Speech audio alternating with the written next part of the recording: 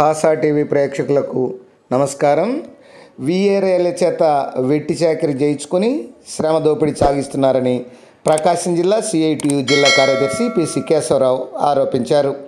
ప్రకాశం జిల్లా కనిగిరి మండల తహసీల్దార్ కార్యాలయం ఎదుట మూడవ రోజు రెవెన్యూ గ్రామ సహాయకుల సంఘం ఆధ్వర్యంలో విఆర్ఏలు తమ డిమాండ్లు పరిష్కరించాలని కోరుతూ దీక్షా కార్యక్రమాన్ని నిర్వహించారు.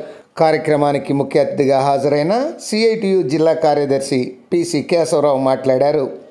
పేస్కాల్ ప్రకారం ఈ ఏరియాలకు జీతాలు వేతనాలు ఇవ్వాలన్నారు.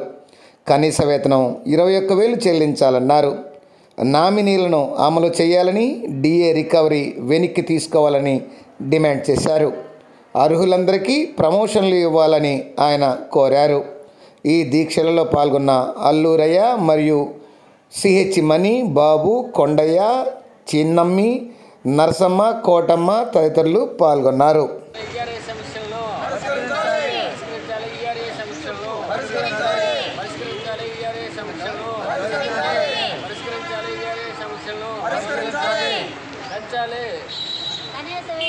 పెంచాలి కనీస వేతనం ఇరవై ఒక్క వెయ్యి పెంచాలి కనీస వేతనం ఇరవై ఒక్క వెయ్యి.